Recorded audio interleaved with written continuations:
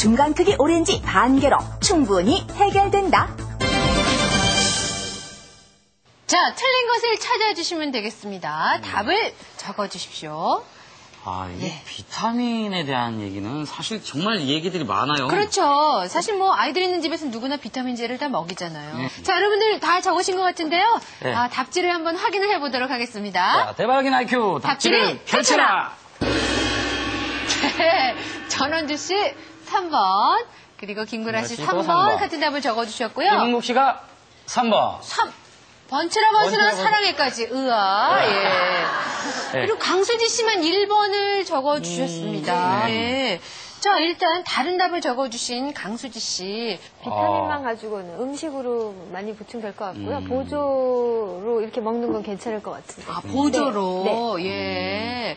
김구라 씨는 아이들에게 그렇게 먹여본 경험이 있으세요? 비타민제를? 네.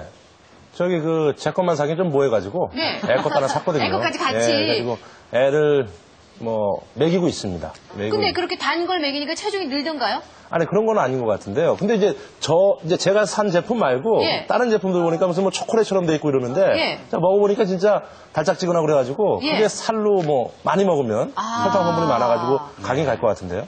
그렇습니까? 자, 네. 그러면 김은국 씨는 지금 알고 쓰신 답인지 아니면 번지를 아, 왜- 왜 웃죠? 예. 아니죠. 네. 김국 씨는 연필 굴려서 그때 하는 것이죠. 연필에 굴려서 한 것 같다. 예. 어, 설명을 좀 부탁드리겠습니다. 왜 그 답을 고르셨어요?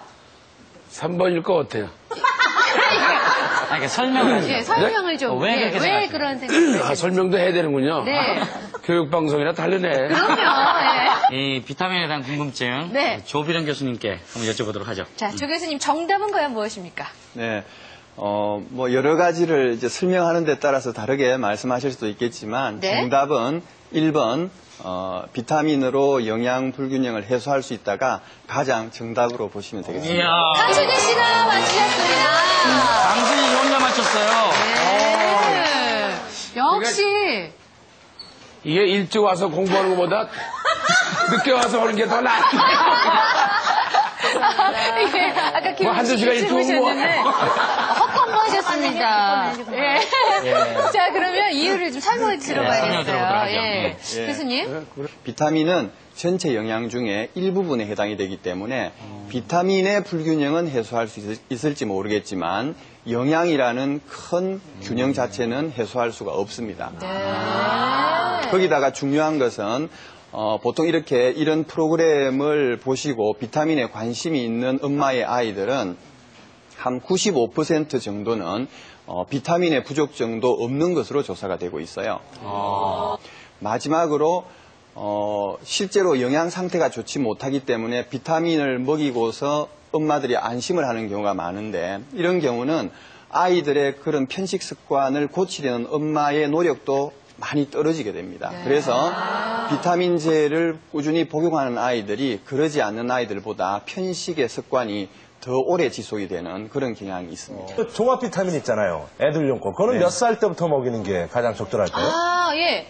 어린아이들의 식습관이나 생활습관을 보고 우리가 결정을 해야 되는데요. 네. 어, 예를 들자면은 어, 영유아일 경우에 엄마가 햇볕을 너무 보지 않는다라든지 육류를 너무 싫어하는 경우에는 비타민 B12나 비타민 D 같은 경우를 어릴 때부터 한 6개월 정도부터 시럽으로 우리가 보충을 해줄 수가 있습니다. 네. 근데 이런 경우는 우리나라에는 거의 잘 있지가 않기 때문에 보통 아이들이 이 유식 다음으로 식사를 실제로 할 수 있는 나이가 되었을 때부터 네.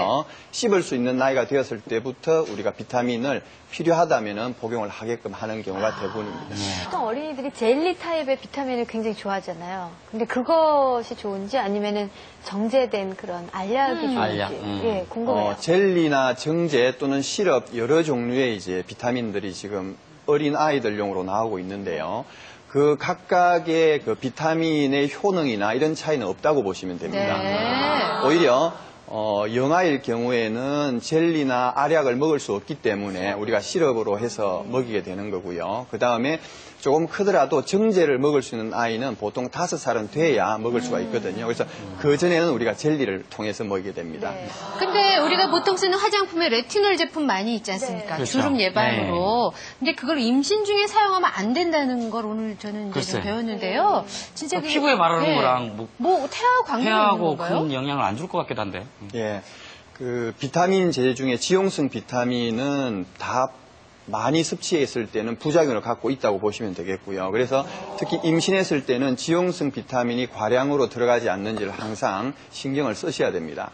그 중에서도 특히 문제가 되는 것이 비타민 A가 되겠는데 비타민 A는 동물 실험에서도 그렇고 실제 인체에서도 태아 기형을 유발한 경우가 보고가 되고 있습니다.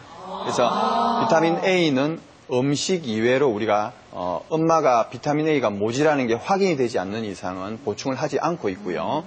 그 다음에 화장품으로서는 레티놀 같은 경우는 합성으로 만들어진 비타민이 되겠는데 그 비타민 A는 기형아를 유발하는 경- 능력이 더 많습니다. 어머나. 예, 그래서 어, 이 레티놀 중에 먹는 레티놀은 먹지 않도록 해야 될- 되겠고요. 적어도 어, 임신이 될 가능성이 있다라고 생각을 할 때는 매달 임신 반응 검사를 하거나 3개월 전부터는 레티놀 화장품을 쓰지 않는 것이 좋습니다. 그럼 뭐가 나빠지나요? 그몸 안에 네. 넘치면 어, 네. 대표적인 게 이제 간에 문제가 온다든지 콩팥의 기능이 떨어지게 된다든지 이런 것들이고요. 오히려 어, 뼈가 더 묽어지는 그런 역효과를 우리가 가질 수도 있고 뭐 피가 더 잘 난다든지 그런 반응들을 가질 수도 있고요. 제일 많은 것들은 그것보다는 이제 위장 장애가 발생하게 되는데 아이들은 어른들처럼 아 요즘 소화가 잘 안 돼 이렇게 말을 하지 않거든요. 위장 장애가 생기면 왠지 애가 계속적으로 잘 놀지 않고 굉장히 신경질을 많이 내고. 내고 짜증을 내는 아이들로 변하게 됩니다. 그러면은 부모나 다른 사람들은 왜 그런지 모르게 되는 거죠. 발육도 늦어지게 되고 다른 대인 관계도 문제가 되기 때문에 과량으로 오는 위장장애도 어른과는 달리 소아에게서는 큰 부작용으로 분류할 수가 있습니다. 네. 뭐든지 넘치는 건 부족함만 못하네요. 글쎄요. 예. 잘 알고 먹어야겠네요. 그러니까요. 뭐든지 비타 아무리 몸에 좋은 비타민제라도 잘 알고 먹어야겠습니다. 네, 몸에 네. 꼭 필요한 영양소이긴 한데요. 이렇게 비타민제보다는 음식을 통해서 섭취를 하는 게 중요하다는 거 잊지 마시기 바랍니다. 알겠습니다. 네. 자, 아이의 발달과 성장에 관한 궁금증을 실험을 통해서 알아볼까요? 네, 해발견 IQ.